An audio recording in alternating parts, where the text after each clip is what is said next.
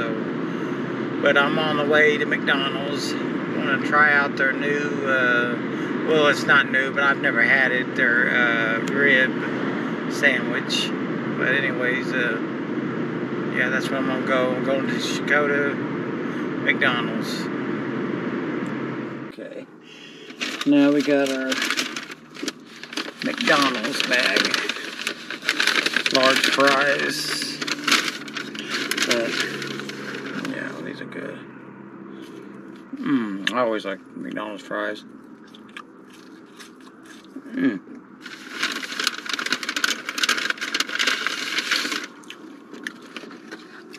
This is what we really came for. It looks pretty good. Kind of messy a little bit. I guess well be expected. This would be my first time trying this. That's alright. Okay. Here's the burger. Mmm. It's not bad.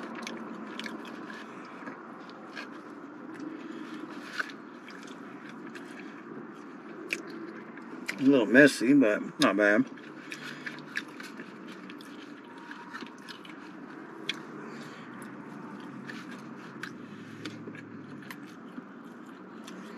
Hmm. Got a little bit on my hands, but I don't care. It's a good sandwich.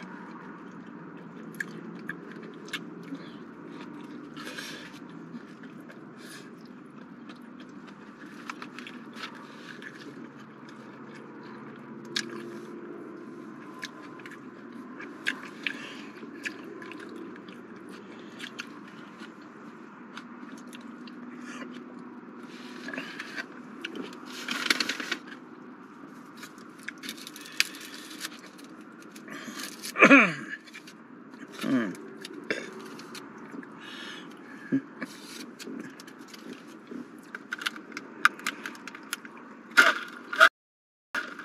a drink here.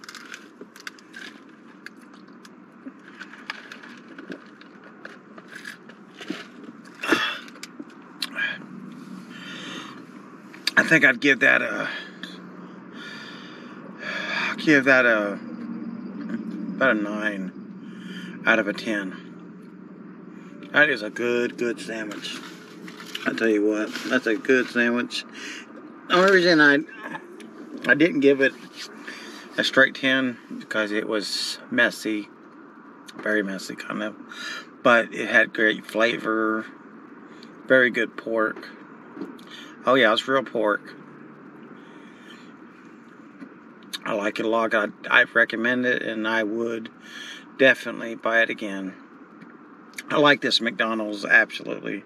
It's got clean people there. Is it? I mean, I guess it's going to be a little messy on a sandwich. I mean, it's got all the barbecue sauce stuff. It's it's you know it's a pork sandwich. It's a rib pork sandwich of some sort, but it's good and it's. I give it a nine because it could have been a little bit less messy, but it's still good. But anyways, uh, that was my review for the sandwich. Thank you all for your support and